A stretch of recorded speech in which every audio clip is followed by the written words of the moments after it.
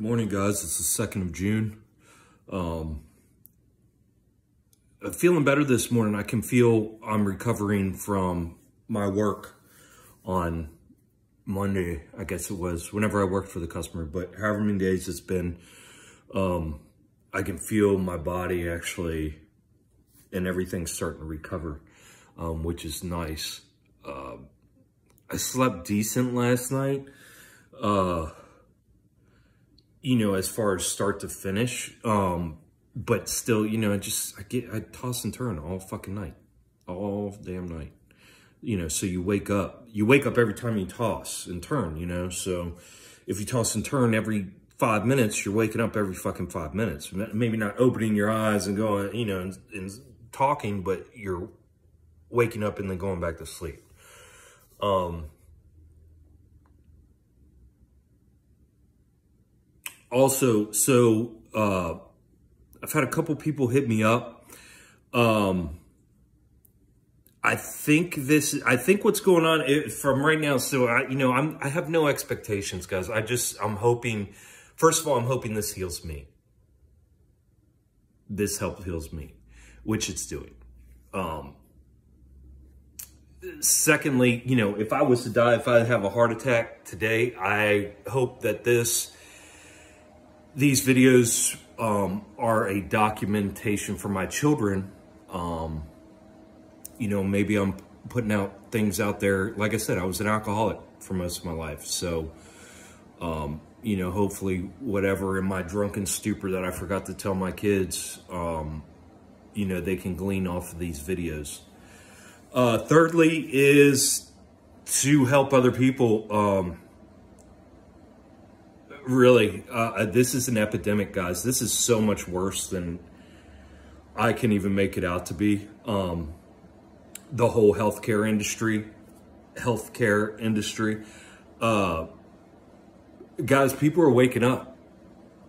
Waking up. And if you're a dinosaur, if you're one of those idiots who are still believing in all these institutions and all of these fucking government agencies, guys, you better wake the fuck up. Now's the time your health, your life. Look, if you got children, your children are looking up to you.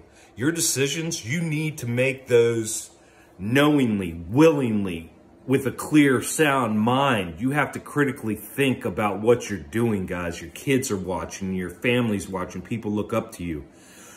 They are seeing how you make your decisions, and that's how they will make theirs. So you're an example. We are examples. Um,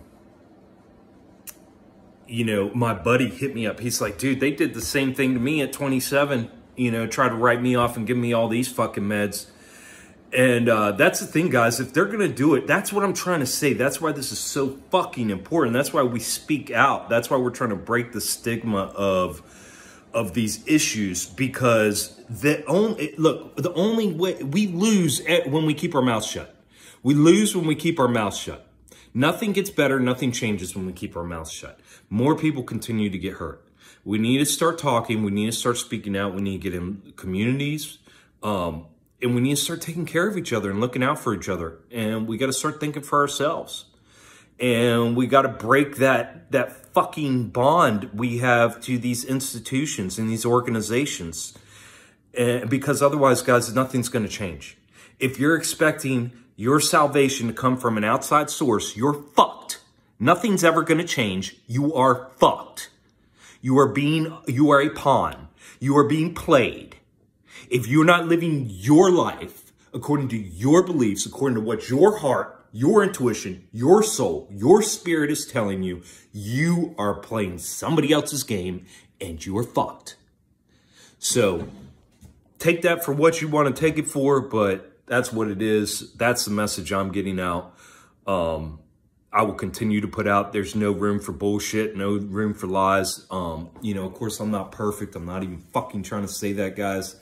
Uh, you know, I got my own perspective I come from. Um, you know, I'm still in a fucking concussion. Uh, but yeah, I have no agenda other than to fucking squash this shit and stop these cocksuckers from taking advantage of people. I hate seeing that shit.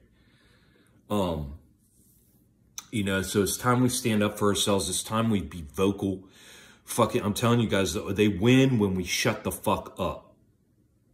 They are so afraid of us saying shit. They are so afraid of us talking. They are so afraid because we hold the power, guys. Each one of us individually holds the fucking power. Now, me as an individual person, I can't do much.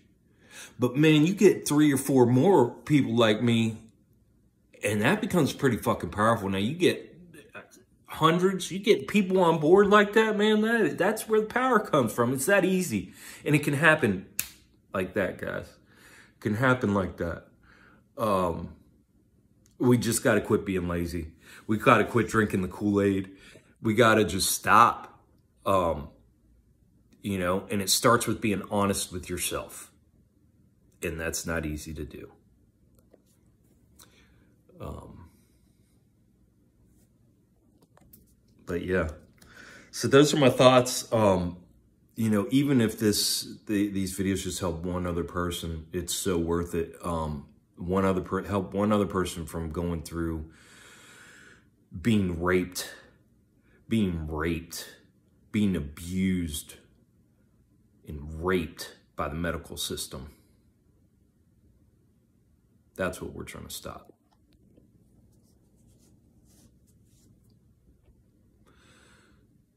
Love y'all.